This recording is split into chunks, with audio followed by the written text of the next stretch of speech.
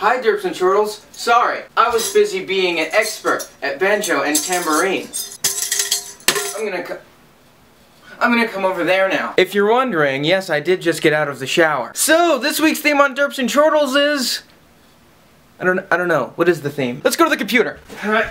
Here's the computer. Alright, there's me requesting that we think of a theme, and Steven posted one, two, three, four comments. Let's see what they say. Do a video on a particularly interesting animal in nature. Write and act out a poem through interpretive dance. Give a lesson on something historical. Perform open heart surgery on someone. Let's do this! So I'm gonna talk about seahorses. Yes, seahorses, the adorable things you know and love. Mystery, we snaw, we snaw. SpongeBob reference. If you don't get it, leave. So the main interesting thing about seahorses is the way that they mate and reproduce. And yes, I'm talking about seahorse sex. Seahorse courtship lasts for about several days. And then there's a lot of big sciencey words, but basically what happens is the lady puts the eggs inside the male, and then the male gives birth. So there's that. The male usually gives birth from somewhere between 100 and 200 babies. Next is writing and acting out a poem through interpretive dance. So I've written my poem, and then interpretive dance Scott over there. Yeah, shut up. Mm. He's gonna do an interpretive dance as I read. I am sorry, dear friend.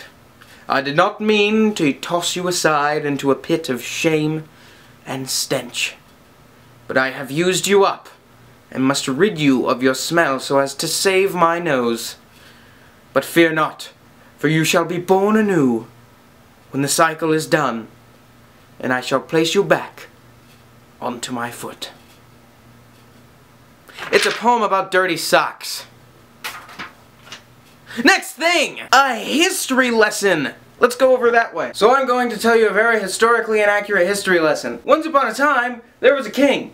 He was king of a far-off distant land called Pufnukel land. So, this was very long ago, and he ruled many people. The king was kind of a tool, though. He decided that to keep control of his subjects, he would pick one at random every day and have them killed in some various gruesome way. And then one day, the subjects of Pufnukel land decided that they didn't want to be subjects of Pufnukel land anymore. So, they built a 20 uh, billion times atom bomb. That's an atom bomb, except multiply the power by 20 billion.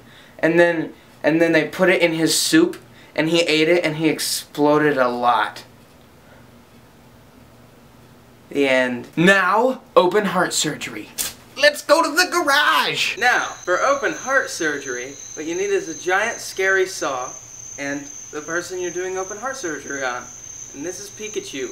So, I'm gonna make a slight cut right, right, right here, and then just, just keep cutting until you, you know, just keep on cutting. Yep, yep, okay, okay, okay. Just pull some fluff out if you, okay, okay.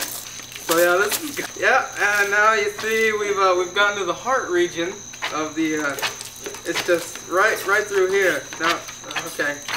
And blood will start spewing from nowhere, and then I'll be, and then I'll smell like Kool-Aid. yeah. So that's open heart surgery. Lydia, I'll see you tomorrow. I fell. I, I fell, but we're still going to the computer. I'm making a video. I know. Get out. okay. So after that, this is what Pikachu looks like. So that's, and this is what I look like